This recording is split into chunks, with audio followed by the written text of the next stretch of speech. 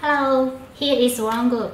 We are a multinational corporation specializing in the catering and hospitality industry with over 50 years experience. For all your restaurant needs, in our channel, many solutions for you. Follow us now. 6. Steak muss auch das Fleisch aufwecken. Stellen Sie es zum natürlichen Abkühlen beiseite und lassen Sie es nach dem Herausnehmen aus der Pfanne 5 bis 10 Minuten ruhen. Wenn es direkt aus der Pfanne geschnitten wird, wird die Karamellisierung und Aushärtung der äußeren Fasern unterbrochen, was zum Verlust des inneren Fleischsaftes führt.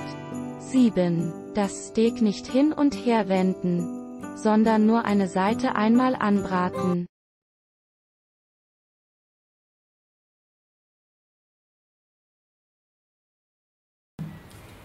If you are interested in our videos, remember to follow us. Good, more than 4,500 restaurant choice. We will keep surprising you. See you.